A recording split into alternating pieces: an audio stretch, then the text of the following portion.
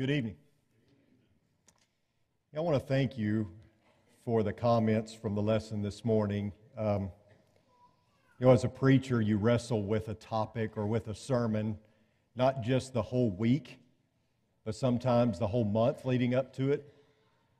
You over and over again, as you play it out and how you're going to say things and what you're going to say, wonder, is this the best way? Is that the best way? You pray for God to give you guidance and, and how you say it. And so, um, you, know, you go back and then you wrestle with it afterwards and you wonder, okay, did it come out right? And so I appreciate all the, all the comments and affirmation this morning. You know, just to kind of put a, a bow on it, what we were trying to get across this morning is that traditions aren't necessarily bad, they're just not God. And traditions are not on equal standing with God's Word, and we have to understand that. We understand that traditions have a rightful place, and there are many good traditions that. Uh, really we were born out of the generation before us, or maybe even many generations before us. And the only reason we can criticize them is because somebody stepped up and said, I'm going to do something. And so that can be a good thing. And our, our, traditions must never invalidate the Word of God. And that's why I, I talked this morning about, you know, the ending a prayer in Jesus' name. And, you know, I, I wrestled with even whether to bring that up or not because, you know, I realize that's a kind of a dicey subject with people. I mean, obviously, you know, John 14, 13 and 14, Jesus talks about, you know, whatever you ask in my name, I will do it. And so that, that is something that's rooted in Scripture. It's, was that meant for us to close every prayer within Jesus' name for all time? I don't know, but I mean, obviously it's a good thing to do. Um, but do we understand why we do it? That was the point. Do we understand why we do it? Do we understand why we pray in Jesus' name? Or do we invalidate the Word of God because we just treat it as a formality or as an addendum. And so, you know, I appreciate what you said this morning and your comments, and, and you guys are so good to me. And I just wanted to put a bow on that and let you know that, you know, we have many good traditions. We have many bad traditions that have gone by the wayside, thankfully, but a tradition is simply a tradition, and they evolve over time, and we need to recognize that and understand their place. And uh, I think Jesus was saying it's not just your traditions, it's your approach to them. How do you handle them? What kind of place do they occupy in your life? Tonight, we're talking about an equally difficult subject.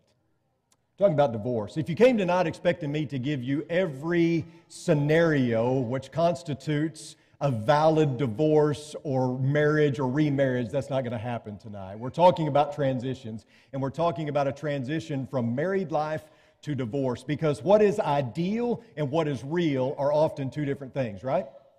I mean, they just are. What God has joined together, let no man separate. That is the ideal. But you know as well as I do that people get divorced. And people come into our churches divorced. People in our churches get divorced. How do we deal with that? How do we approach that? You know, it reminds me of a story about a a man and a woman, the wife asked him one night, she said, uh, If I die, would you remarry? And he said, Yeah, absolutely.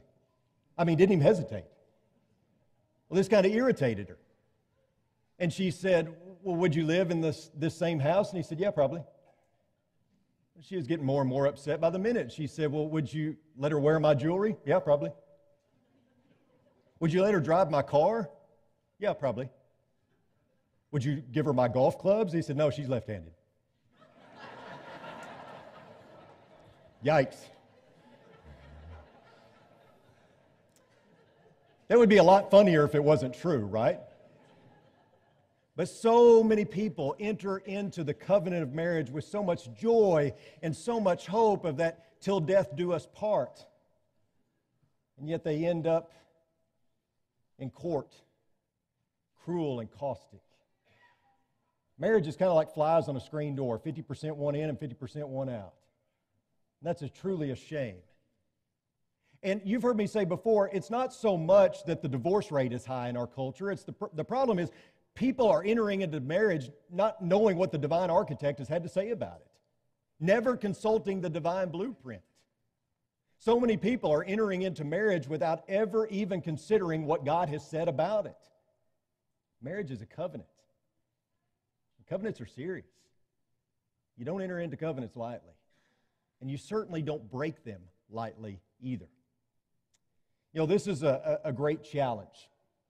preaching on the topic of divorce because you can approach this topic from several different angles. I could encourage those who have divorced for what may be deemed an unscriptural reason. I, I, don't like those terms, by the way, scriptural versus unscriptural divorce or marriage or whatever.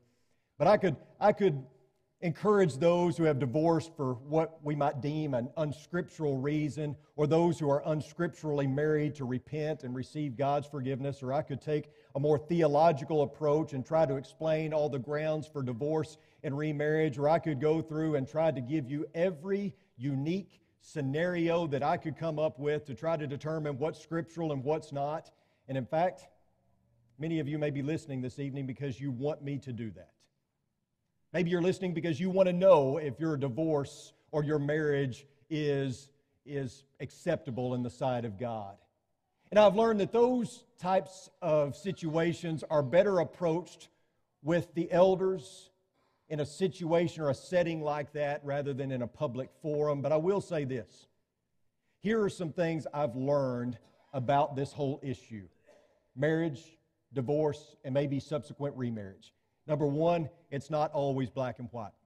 You can say that it is, but until you have to practice it, until you have to approach it from an elder or preacher standpoint, you never understand that there is a deeper shade of gray sometimes. Not always. Sometimes it's black and white. Sometimes it's very easy. Sometimes you say, nope, that's wrong. But not always, for sure. Secondly, I've learned that elders are not private investigators. It's not their job to unscramble an egg. They do the best that they can with the information that they receive to guide a couple or a divorced individual in the paths of righteousness, lovingly teaching them and helping them along the way. But sometimes you got to do your best and let God handle the rest, right? I've also learned that I don't believe Jesus' teaching on the subject of marriage, divorce, and remarriage in Matthew chapter 19 was meant to be a one size fits all theology for all time. And I would say this everyone needs a place to worship. Even the most hardened sinner who has decided that he wants to turn his life around or she wants to turn her life around and she wants to get right with God, no matter what they've done in the past, if, if they are seeking to live right with God, they need a place to worship. And I say that because so many people have been hurt by Christians or leaders in the church because of divorce or remarriage situation. I've had friends that have said, I will never darken the doors of a church of Christ because of the way my parents were treated after their divorce. And that's truly sad, right? Because I think that we can teach on the sanctity of marriage without treating divorced people like lepers. I think we can do that. I think that's possible. I think you can have both those things. I think you can teach on the seriousness of covenant when it applies to marriage. I think you can talk about the sanctity of marriage in no uncertain terms and still treat people lovingly. I think you can do that. Now, in Malachi chapter 2, verse 16, God leaves no doubt as to his stance on divorce. What does he say there? I hate divorce. But do you know why? Do you know why God hates divorce? Because he loves people. That's why. And divorce fractures things, it hurts people it causes brokenness. God may hate divorce, but He doesn't hate the people who get divorced. He loves people. And because He loves people, He doesn't want to see them hurt. And divorce always causes collateral damage. I sometimes counsel with individuals who are going through a divorce, or maybe they're going through a separation, and I ask them, So, how are the kids? And without fail, they usually say, Oh, the kids are great. They're doing fine. No, they're not. They're never great. They're never doing fine regardless of what you think, regardless of whether they put on a facade that shows that they're doing great, they're not doing great. Divorce hurts people, and not just the two that are involved. There's collateral damage, and we have to recognize that. Now, turn your attention to Matthew chapter 19. Matthew chapter 19, it says in verse 3 and following Some Pharisees came to Jesus, testing him and asking, is it lawful for a man to divorce his wife for any reason at all? And he answered and said, Have you not read that he who created them from the beginning made them male and female, and said, For this reason a man shall leave his father and mother and be joined to his wife, and the two shall become one flesh. So they are no longer two, but one flesh. What therefore God has joined together, let no man separate. They said to him, Why then did Moses command to give her a certificate of divorce and send her away? He said to them, Because of your hardness of heart, Moses permitted you to divorce your wives, but from the beginning it has not been this way. And I say to you, whoever divorces his wife except for immorality and marries another woman commits adultery. The disciples said to him, If the relationship of the man with his wife is like this, it is better not to marry. But he said to them, Not all men can accept this statement, but only those to whom it has been given. For there are eunuchs who were born that way from their mother's womb, and there are eunuchs who were made eunuchs by men, and there are also eunuchs who made themselves eunuchs for the sake of the kingdom of heaven. He who is able to accept this, let him accept it. For the sake of review, Jesus is being posed with a loaded question. It's kind of like when someone asks you, Do you still beat your wife? That's a detailed answer. And they say, no, no, no, yes or no. Well, that's not a yes or no answer. That is what Jesus is facing here. This is a loaded question. And you have to understand that the context of this, much like Matthew's gospel does, focuses on the Old Testament, right? You see several times Jesus reiterating what was said in the Old Testament in a different way in the New Testament, right? This is no different. The context of Matthew chapter 19 is a reference to the Old Testament. Deuteronomy 24 specifically. And if you look at Deuteronomy chapter 24, verses 1 through 4, it reads like this When a man takes a wife and marries her, and it happens that she finds no favor in his eyes because he has found some indecency in her, and he writes her a certificate of divorce and puts it in her hand and sends her out from his house, and she leaves his house and goes and becomes another man's wife, and if the latter husband turns against her and writes her a certificate of divorce and puts it in her hand and sends her out of his house, or if the latter husband dies who took her to be his wife, then her former husband who sent her away is not allowed to take her again to be his wife. How often do we teach that you have to go back to your original spouse?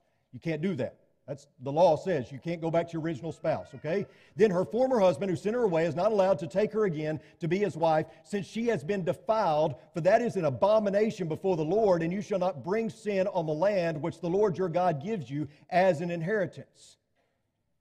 Now, again, looking at context, there was controversy during this time over two phrases. And the two phrases were finds no favor in his eyes and found some indecency in her. And there were three prominent rabbis that weighed in on this controversy. You had Rabbi Hillel, who believed that you could divorce your wife for any reason at all. And the example he used is if she burned the toast. Then you had Rabbi Shammai, who taught that divorce was allowable only in cases of immorality or adultery. He used, or focused, I should say, on that indecency part and he saw indecency as immorality or sexual sin. And then there was Rabbi Akiba, who wrote that divorce was allowable only where immoral, or excuse me, only if you found someone better to marry. That was his reasoning. If you found someone prettier, you could divorce your current wife and go to the next one. And he focused on the finds no favor in his eyes statement. And finding no favor in your eyes meant that you didn't like her anymore. She wasn't pretty enough. So Jesus is being asked to take a side here. Are you liberal? Are you conservative? What are you? He's being backed in a corner here. Where do you fall on this subject? Because most people, the majority of people in this day and age, sided with Rabbi Hillel. Most of the people in the audience would have believed, like Rabbi Hillel, you can divorce your wife if she burns the toast. And they were pretty sure Jesus didn't believe that. And so, by answering the question, the pointed question, the loaded question, he was going to alienate a large portion of the people there, which is always what they wanted. They didn't want an answer to the question. Understand that. They didn't care what his answer was, except that, that he would incriminate himself. But notice how the wise Jesus answers the question. He takes it back to the very beginning. He skips over Deuteronomy chapter 24 for the moment, he goes all the way back to Genesis 1:27 and Genesis 2:24. And he, he goes back to the institution of marriage when the covenant was instituted, back when it was pure and unadulterated, and before it was perverted by men like this who treated it as disposable. And Jesus reminds these experts in the law, have you not read? That he who created them from the beginning made them male and female, and said, For this reason, a man shall leave his father and mother and be joined to his wife, and the two shall become one flesh. So they are no longer two, but one flesh. What therefore God has joined together, let no man separate. From the very beginning, it wasn't this way. I know that Moses allowed for divorce. The reason he allowed for divorce, by the way, is back in that day and time, and what was going on in the culture in Deuteronomy chapter 24 is that men would marry a woman, leave her to be, and go find another one, leave that one, go find another one, and they had marriages all over the place. And so Moses was, in essence, saying, hey, look, divorce her so she can at least find somebody else. But as it is, she had no means to support herself. She was totally reliant on her husband, and he had left her. He had put her away, as the terminology. And so Moses at, at least divorce her so she can go and marry somebody else and be taken care of. That's the context, okay? And so now Jesus takes it back to the very beginning and says, Look, before this whole perversion happened, it was always intended to be one man, one woman for life. That was the intention. He says, Therefore, they asked Jesus, Why then did Moses command to give her a certificate of divorce and send her away? Jesus doesn't deny that. He doesn't deny that Moses uh, allowed divorce, but he does tell them that the reason was because of the hardness of men's hearts. Notice that Jesus concludes that statement with a reaffirmation of his previous point. He states, But from the beginning, it has not been this way. In other words, the intent was pure, it was good that the covenant of marriage was intended to last. And I think the overwhelming point from Matthew chapter 19 that we need to take away is that marriage should not have an exit strategy. You don't go into marriage with divorce on the table and say, well, if it doesn't work out, we can always get divorced. You see, we zero in on Matthew 19 and we try to use it for a one size fits all theology for marriage, divorce, and remarriage. And while it does have instruction there for us concerning that topic, the bigger issue and what Jesus is approaching is the question. The loaded question. And he's saying, it wasn't, supposed, it wasn't supposed to be this way. Now, like I said earlier, what's ideal and what's real are often two different things. Because throughout the Bible, you read about what is ideal and what is real. I mean, people sin, right? And people get divorced. So, what God has joined together, let no man separate. It would be great if that never happened, but it does, doesn't it? Unfortunately, it does. And, and for some people, it is no fault of their own. They, they didn't imagine being divorced and raising kids on their own or having to split time with step parents and all that. They didn't ask for that, they didn't want that. They have been put away. But even for the one who comes into the church, maybe comes to Christianity later who has been divorced, don't they need some place to worship? Don't they need someone to guide them in the paths of righteousness? And I say all that because I, I, have seen too many people hurt, thankfully not by this church, but by the church at large because they came wanting to find peace wanting to find someone to help them, to guide them, and they instead were treated almost like lepers. I don't think the church has always handled this issue with grace and love and mercy like they should. I mean, people are already hurting, and I think that we can be both convicted and compassionate. Like I said, there, there are certain, listen, I have, I have encountered certain marital situations that would blow your mind. I've encountered certain scenarios as well as our elders that you wonder where in the world do we go with this one, right? Especially in the foreign mission field. I mean, you find situations that are just absolutely disheartening, but you know, in order to, to kind of call those out and figure out what's going on there and how to guide them in the right direction, I mean, it's all fine in theory, but when you put it into practice, it's difficult. Here's what I think needs to happen in our churches in order to help the divorced heal. we got to preach the truth in love, always, with anything. You know, some marital situations are difficult to discern, they just are. Some aren't. If I ran off with another woman tomorrow, I would expect you to be black and white about that because that's wrong. Nothing right about that. You don't solve marital problems by bringing in a third party to have sex with. You don't solve marital problems by turning to another man's wife or another woman's husband. God is not going to send you someone else's spouse to be your soulmate. That's not how this works. So we have to recognize that some of these situations are pretty cut and dry, but not all of them. Some of them are difficult to discern, but always we preach the truth in love. An exceptional measure of grace and mercy. Secondly, we must let the divorced know that they're not alone. It's hard to be single in the church. It's hard to be single in life. It's hard to be single in the church, especially if you're raising children. Virtually every church, as we've said before, has a gap or a hole for single people. And it's hard for single people to find their place in church. Imagine how much more difficult that would be if you were someone who was looking around and seeing happy married couples.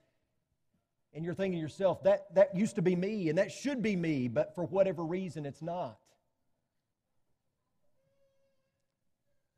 So many times, I think the church takes a guilty until proven innocent approach when it comes to divorce or marriage and divorce, and it's unfortunate. An extra measure of grace and mercy sometimes is what needs to happen. When people feel the most alone in life, they need us.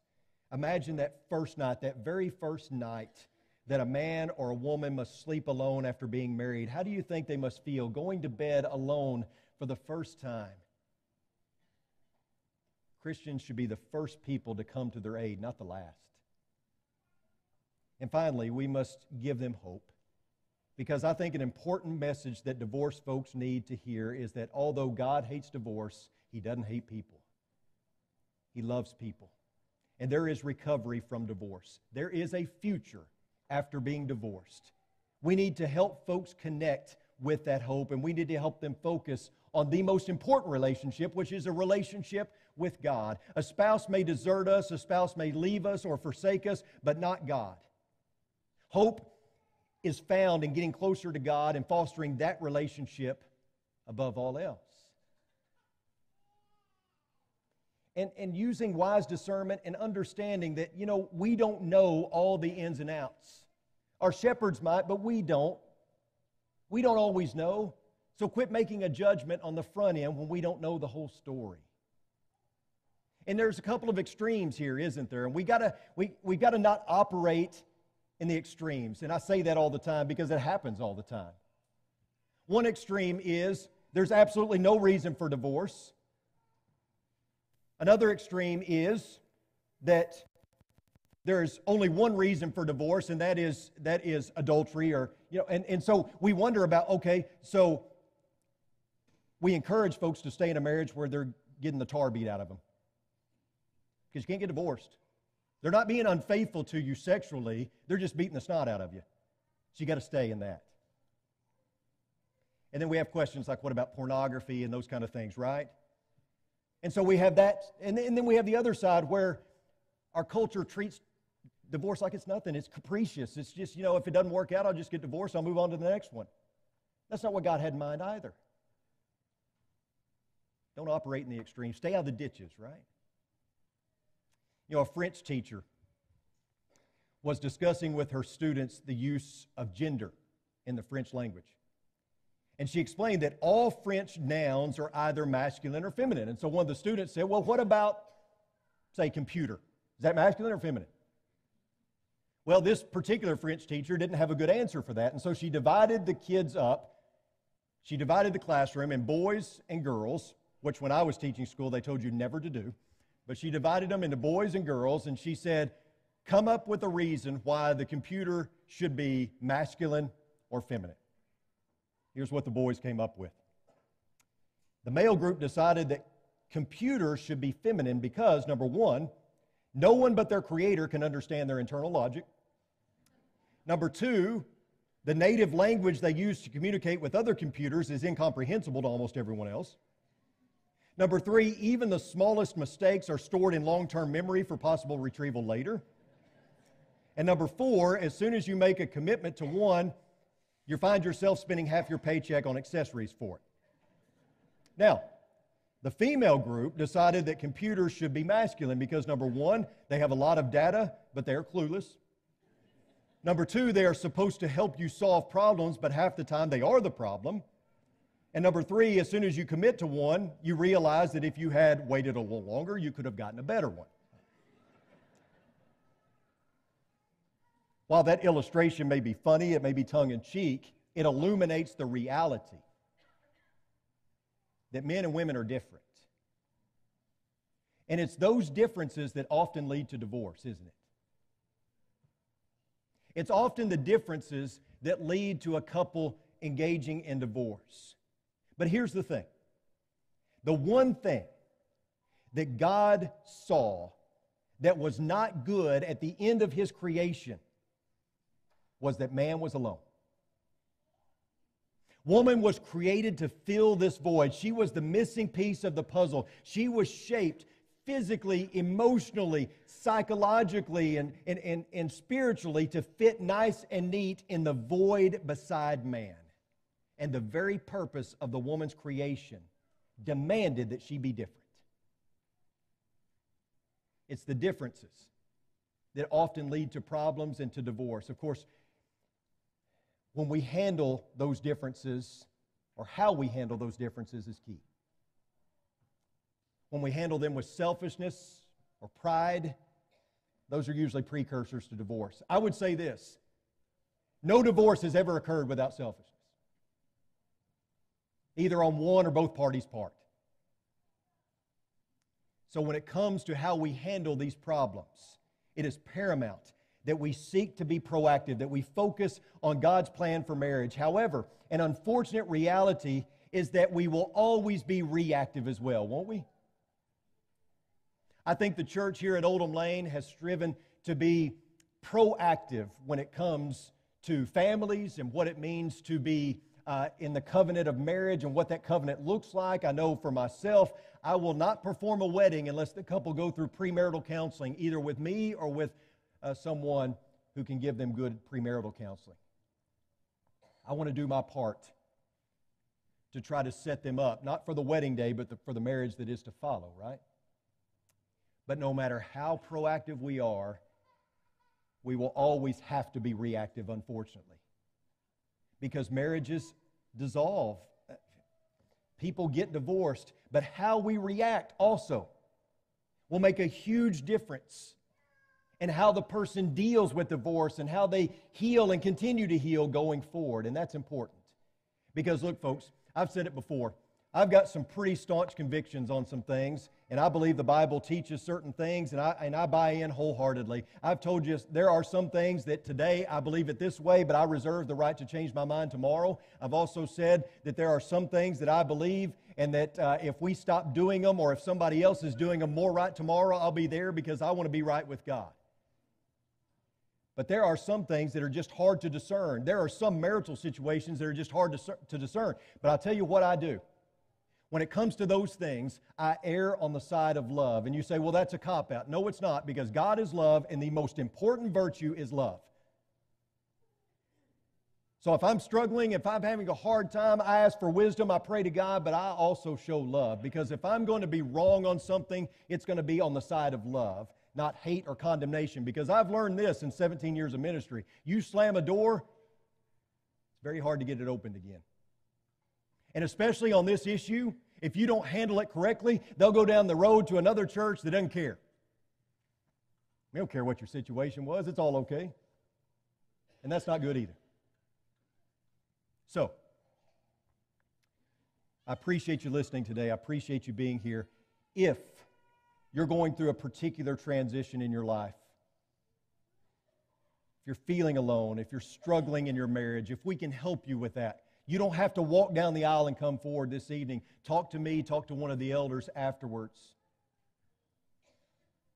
If you're someone who is contemplating marriage and you want to know more about this topic, then let, surely let us help you. We want to be proactive in helping set you on the right path in understanding the covenant of marriage.